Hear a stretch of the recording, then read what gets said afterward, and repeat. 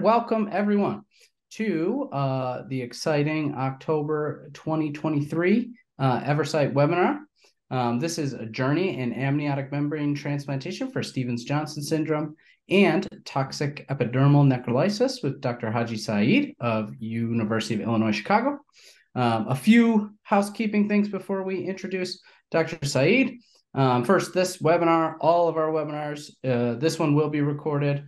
Uh, all of the past ones are recorded and available on demand online.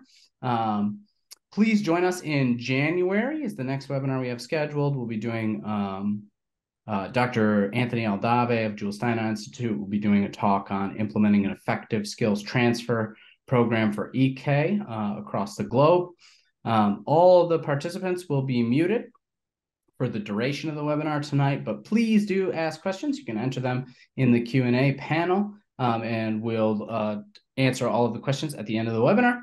Um, and then at the conclusion of the talk, there'll also be a brief survey, and I'm going to mention that again at the end. And so just a brief introduction of Dr. Saeed. Um, Dr. Saeed is an associate professor of ophthalmology at University of Illinois Chicago.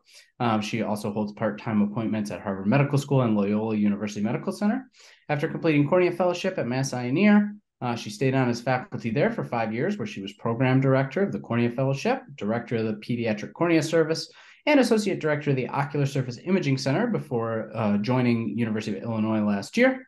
Um, her lab conducts research on characterization and management of Stevens-Johnson syndrome with a focus on generic, uh, excuse me, genetic uh, very different epidemiology and risk factors. Um, she is an international expert on SJS and TEN and has standardized treatment for ocular disease in uh, SJS. Her clinical practice is focused on providing expert care for adult and pediatric patients with severe ocular surface disease.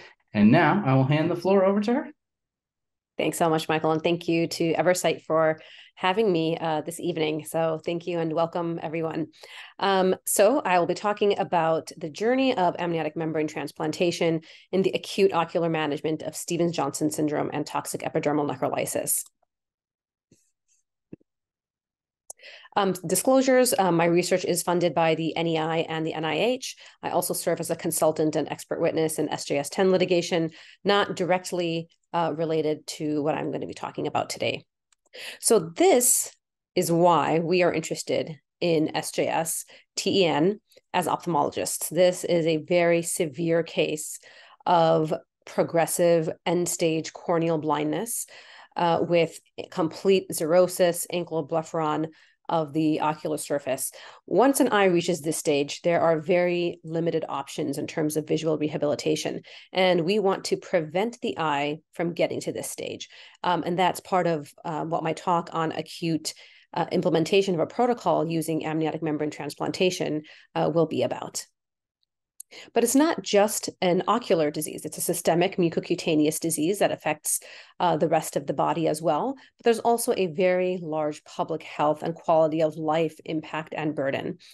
Um, interestingly, even though SJS is a very rare disease uh, with incidence rates of about 1 to 12 per million population, uh, the lengths of stay for hospitalization for patients with SJS in the acute phase are significantly higher than for other um, admissions um, combined. And the initial cost of inpatient care can be up to $58,000 per patient versus $11,000 for other admissions. And in sum total, there's some $43 million spent annually on just the acute care of SJS TEN patients. So for a rare disease, there's a very large and substantial um, healthcare um, costs associated with the disease. In addition to that, patients are often out of work for weeks, months, sometimes even years while they're recovering, which means that they're out of the workforce, their caregivers are out of the workforce. Uh, they need to apply for disability, which has a whole another set of public health impacts as well. Um, another component that is often not thought of is the impact um, that this has on the patient, him or herself, um, in terms of the drug which caused the disease. So, psychiatric and neurologic drugs are often responsible for the development of SJS. And once those patients can no longer be on that drug, the etiologic drug for their SJS, that can significantly exacerbate mental illness that can no longer be treated with their drug of choice. In addition, because SJS is most often caused by drugs, there is a mistrust in the healthcare system, um, and they often will patients will often delay or not seek care when they need it. So I'm going to start with a brief outline of events from acute to chronic. Um, we'll start with general uh, concepts in acute ocular SJS-TEN, and early involvement can be highly variable and can range from conjunctival hyperemia that we see here in the acute phase to pseudomembrane formation, sloughing of the ocular surface with corneal epithelial defect, to eyelid membrane ulceration that you can see here.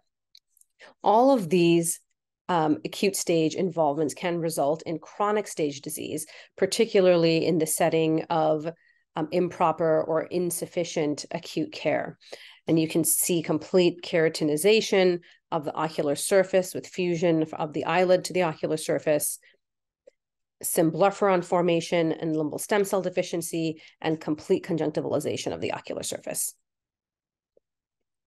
So the uh, cases with even modest damage in the acute phase can result in severe chronic ocular surface disease. And the key risk factor for chronic progression appears to be a disordered eyelid margin anatomy. And that can be in the form of entropion, trichiasis, meibomian gland atrophy, eyelid margin notching, and most importantly, posterior eyelid margin keratinization. And I'll show you some photos of that. That is really thought to be the prognosticating factor in SJS um, in terms of corneal blindness and corneal disease. Uh, recently, we have found that there's also drug-related severity. So particular classes of drugs, um, especially anti-epileptics, including lamotrigine, can have very severe acute and chronic ocular uh, disease from SJS.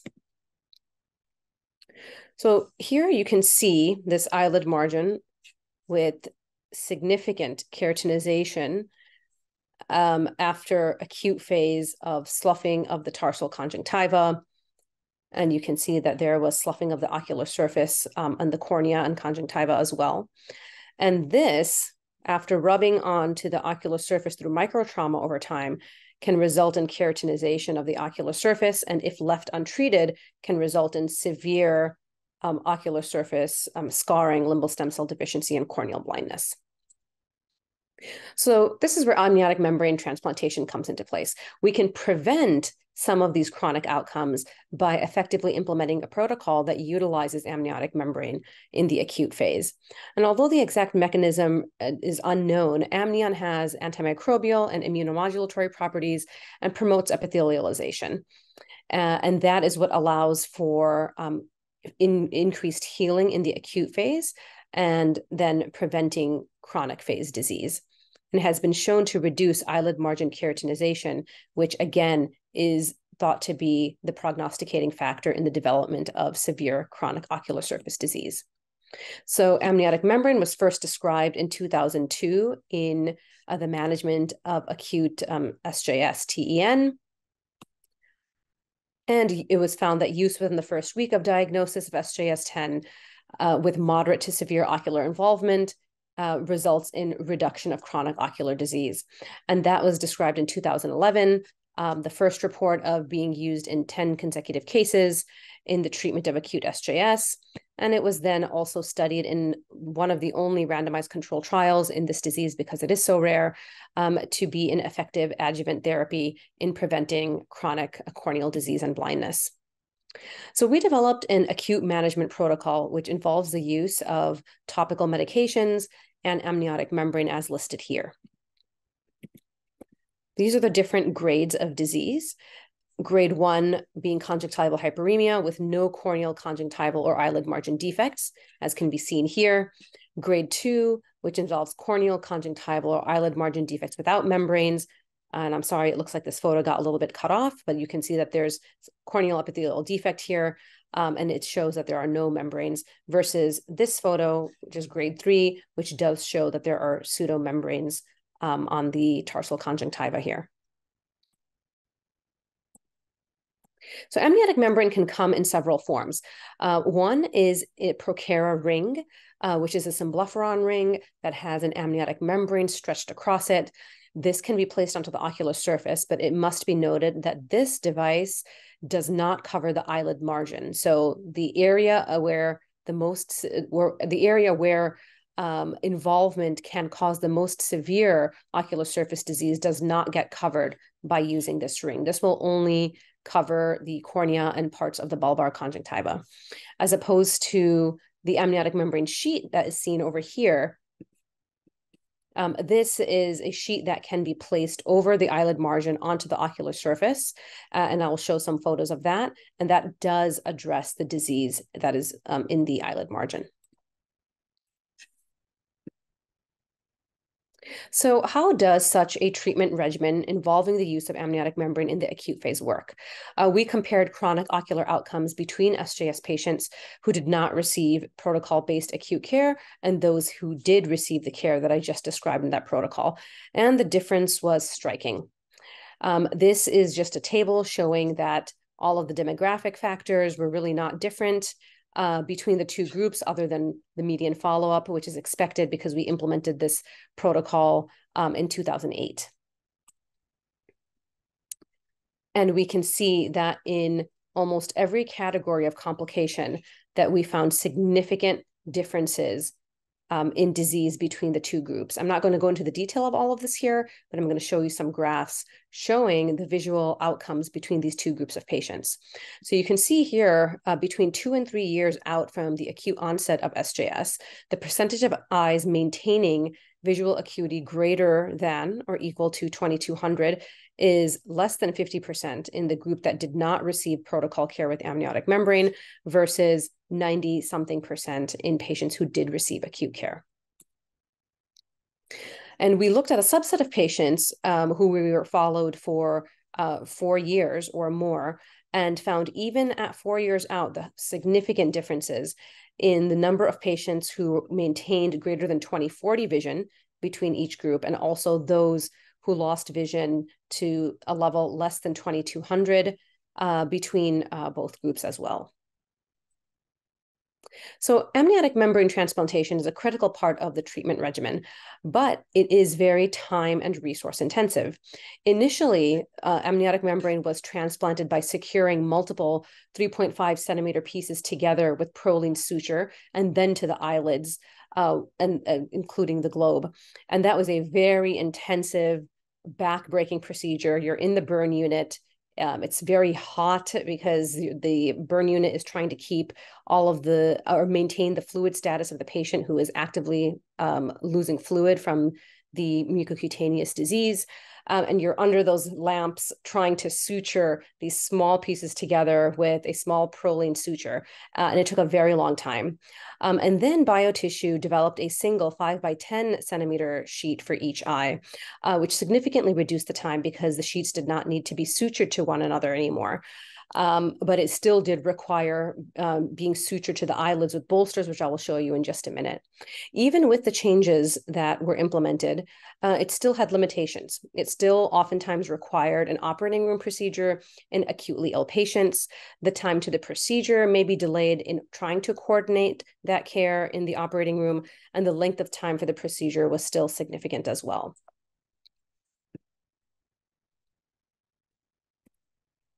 So this is an example of the sutured amniotic membrane technique. The amniotic membrane is placed onto um, the eyelid, several millimeters above the eyelid margin.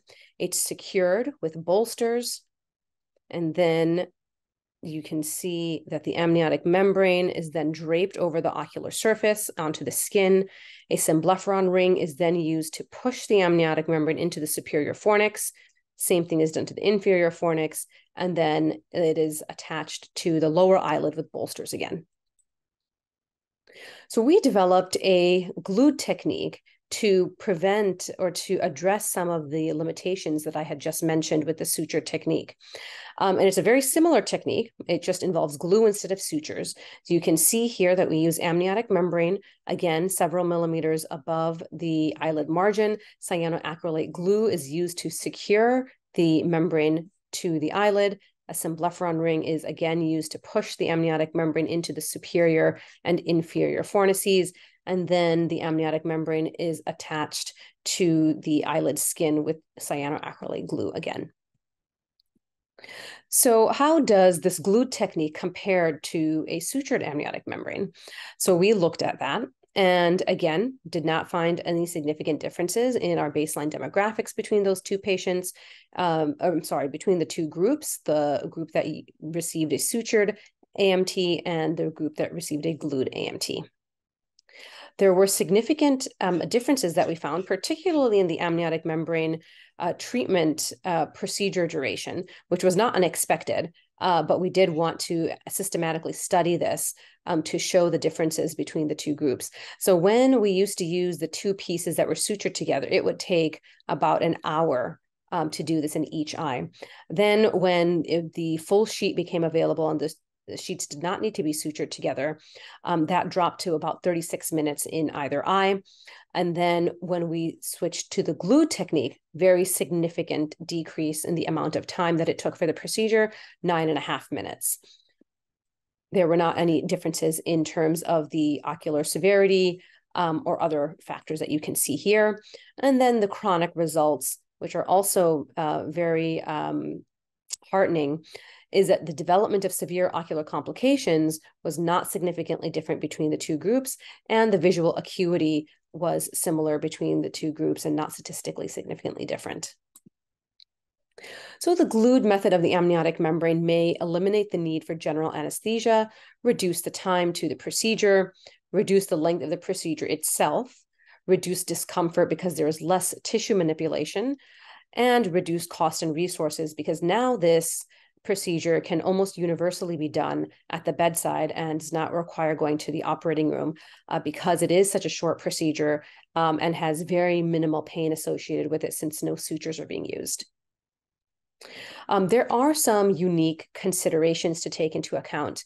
Um, I've been asked many times about what type of glue can be used, and I want to stress that it must be cyanoacrylate glue that is used.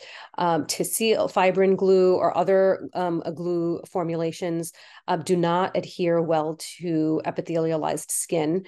Um, and they will fall off. And even when they do, um, even if the skin is denuded and you are able to apply the glue to the deepithelialized skin, it will fall off uh, within a few days. So cyanoacrylate glue must be used. Um, however, um, cyanoacrylate glue is toxic to the ocular surface, as many of you know and may use in your own practices. Um, when there is a corneal perforation that is small enough um, to be sealed with glue, um, the glue is placed on the ocular surface, and over time, there is intense neovascularization that develops um, towards that area of the glue. Um, so it must be applied three to four millimeters above the eyelid margin because of that toxicity, and care must be taken to not get the glue onto the surface of the eye. Um, these eyes are already acutely inflamed, so any other form of toxicity to the ocular surface can really cause the patient to go downhill. In addition, the glue is very abrasive and will be very painful um, if it is inadvertently left on the ocular surface um, every time that the patient blinks. Um, additionally, um, the glue does fall off on its own, um, similar to the ocular surface. When you place it on uh, to the cornea in cases of perforation, the epithelium grows underneath, and eventually that glue will dislodge. The same thing happens on the on the eyelid, where the epithelium will grow underneath the glue, and it will then fall off on its own. Sometimes there is a residual glue that is left, and that can be wiped off with an adhesive remover wipe. Uh, we have those in clinic um, and and they can be ordered if if they if you don't, um, and it comes off very easily. So there are no um, concerns with the glue adhering to the skin long term or causing any further um, cutaneous damage. So in conclusion, ophthalmologists must examine all SJS-TEN patients upon admission, and amniotic membrane transplantation has a window of opportunity. As I mentioned, it's been found that amniotic membrane transplantation must be done within that first week of admission to really have the greatest effect on mitigating chronic ocular complications. Um, and even within that week, the earlier it's done, the better, because we see significant progression of acute inflammation in that first week after disease onset. And a treatment protocol using amniotic membrane can significantly reduce ocular morbidity. But even then, it's still not a panacea. So even in the patients um, in whom we did use this protocol, there are a select uh, few who do go on to develop very severe ocular surface disease. And so this means that patients must be followed closely because complications can develop at any time, even three to four years later, which can develop into severe chronic disease leading to blindness. Um, and every phase of the disease does have a window of opportunity in which different um, interventions can be made. Uh, and finally, the glued amniotic membrane transplantation can potentially lower the threshold for the use of AMT um, in Stevens-Johnson syndrome or other diseases such as um, ocular, chemical, or thermal burns, or acute uh, graft versus host disease, where there is significant involvement of the eyelid um, and or ocular surface. Uh, and this method can be applied to uh, safely, efficiently, and effectively apply amniotic membrane um, to the ocular surface at the bedside. Uh, I want to thank everyone so much for their time. Um, this is one of my patients um, who saw me um, in the chronic phase, who unfortunately did not receive um, appropriate acute care, acute phase care, and just developed severe ocular surface disease, complete xerosis, this large tongue of conjunctivalization of the ocular surface. is very limited options for this patient now. Um, just to give a brief um, history for this patient, we did do a minor salivary gland transplantation on this patient to prepare the eye for either limbal stem cell transplantation or um, a K-Pro. Uh, but both of those procedures, as you know, have um, their own set of complications, and we really want to prevent getting to this stage. And even though it is not 100% effective, we do know that amniotic membrane um, is one of the most powerful resources we have in preventing um, this type of severe chronic disease. Thank you very much, everyone. Thank you so much, Dr. Saeed. Um, we have one question in the chat, and then I have a quick one too. I'll, I'll just ask while people, um, uh, maybe people type more. We'll give them a second. Um, so you, with the glue technique, you can place this at the bedside, not the OR. Um, what do you do to um, protect the eye after it's glued on? Do you just shield um, shield the eye? Um, th- that's a great question. Um, so if the patient is awake, they may be blinking enough that you don't need to have any additional support onto the ocular surface. Many times, most of the time, um, in the acute phase, these patients are intubated or sedated um, and do not have that protective mechanism over the surface. So it's very important to size the symblepharon ring um, so that it fits appropriately in the fornices so that the eyelid can still close over the eye. Um, and then copious ointment and medications are used and eye drops are used on the surface to protect the protect um, the ocular surface. I'm trying to go back on my slides here so I can show mm-hmm. you sure. this. Uh, here we go. Um, so ointment, um, fluorometholone ointment, which is a steroid ointment, is used six times a day and there's really copious amounts of that ointment that we use. Um, so that allows um, protection of the ocular surface in addition to the amniotic membrane. Now, eyes that do have more exposure that are not being closed or protected as much will have faster dissolution of the amniotic membrane. Mm. Thank you. Um, and uh, the other question I had, and you may have said this, forgive me if you did, is um, this is the amniotic membrane sheet placed with the basement membrane side onto the ocular surface and stromal side? Um, um, so yeah, another good question. It's usually actually placed stromal side onto the ocular surface and the basement membrane facing up. Uh, but we have actually found in other disease states that um, it really doesn't matter which way we place okay. it. Uh, but the standard is to place it with the stromal side down. Okay. And then um, question from the chat. Um, uh, so were the you mentioned that the procedures, the gluing procedures, can be done bedside. Um, the uh, suturing procedure is that done in the OR? And then part two of that question: Do you have a preferred um, type of amniotic membrane in terms of brand or preservation, um, et cetera? Um, so it does not have to be done in the operating room, and we actually rarely do it in the operating room. Um, if we can, with sedation at the bedside in the ICU, where these patients usually are, uh, we try to do it at the bedside just because it's faster. The patient gets the procedure closer to the time of their onset, um, and there's a lot less coordination with having to go to the operating room. Um, but in conversations with many other ophthalmologists, I found that um, doing that local conscious sedation that is needed is oftentimes not available, even in the ICU setting. Um, and in those cases, the patient does need to be taken to the operating room um, because it's difficult, even with local sedation. Um, patients can be quite uncomfortable with the, with the procedure. So it does not need to be, but if the proper um, sedation and analgesia is not available, then it does need to be done in the operating room. As far as brand and type, um, I use the uh, biotissue cryopreserved amniotic membrane. Um, there is a dried version of the membrane. Um, I have not actually personally used it. I know that there are others who use it, but I don't think that that's going to be as effective as a cryopreserved membrane. Um, and I use the five by 10 centimeter sheet um, that biotissue has. Do you use the, um, I, I think it's amniograft, like the mid thickness? Yeah. Mm-hmm. Yeah. Mm-hmm. They do have a, a, a, a thicker one that came out recently. Um, I have not yet used that in, in this population, uh, but it would probably last on the ocular surface longer. Uh, and that may be a benefit since the amniotic mm-hmm. membrane does dissolve um, faster in acute inflammatory states. So having a thicker one may may provide some benefits. Mm. And let me just take a look. That looks like um, all the questions that we had in the chat. Um, and so, um, barring any last minute submissions, uh, get them in now if you have them. Uh, this uh, webinar, like I said, will be available online on our website, on YouTube, available on demand. Um, there's going to be a brief uh, survey.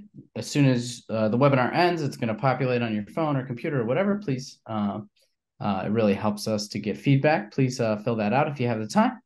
Um, any uh, final words to share, Dr. Saeed?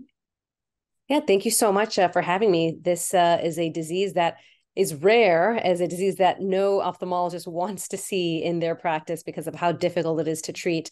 Uh, but there are ways in the acute phase to really prevent some of this chronic disease. And I'm grateful for the opportunity to present that. Thank you. Thank you. We're grateful to have you um, and to now have you at one of our favorite partner institutions at the University of Illinois. Um, uh, thank you, everybody, for logging on. Uh, we'll see you at the next webinar and have a good night, everyone. Thank you. Bye.